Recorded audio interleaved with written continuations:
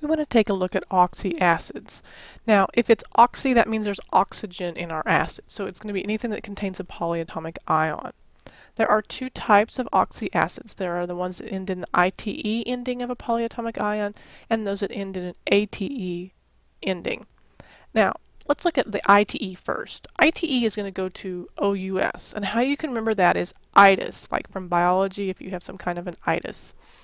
Um, if I have H NO2, I'm just going to name that. Now I know it starts with an H, so it's an acid. So NO2 is nitrite, so it's going to be nitrous. And then I'm going to add the word acid. Now I have HClO3. It starts with an H again, so I know it's an acid. And ClO3 is hypochlorite. So I'm going to change the ITE to OUS, so this is going to be hypochlorous acid. Now, what happens if I need to go the other way?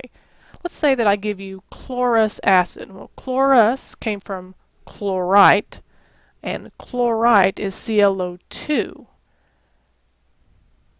And I know that it starts with an H. Now, the charge on hydrogen is always a plus 1. The charge on the ClO2 is a minus 1. So this becomes HClO2AQ. Now what about this hypobromous acid? Well, bromous means it came from bromite, so hypobromite. And what does hypobromite look like? Well, it's BrO3 with a minus 1 charge. We've got hydrogen with a plus 1 charge.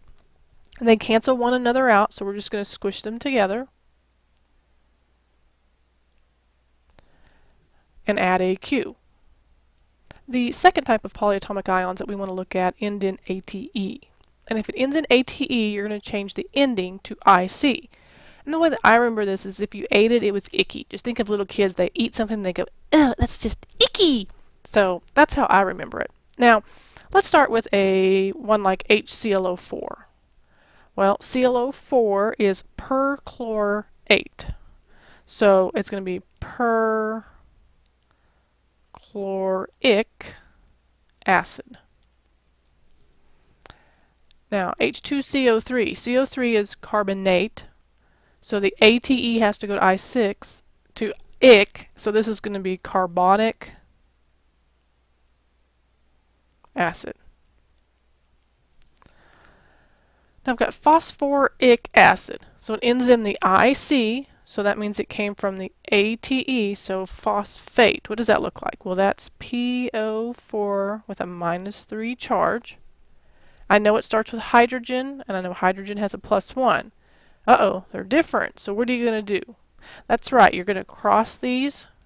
So you get H3PO4 aqueous.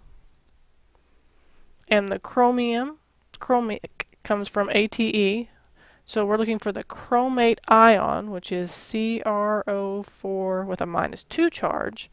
We've got hydrogen's the plus 1. They're different again, so I'm going to have to crisscross again. H2CrO4AQ.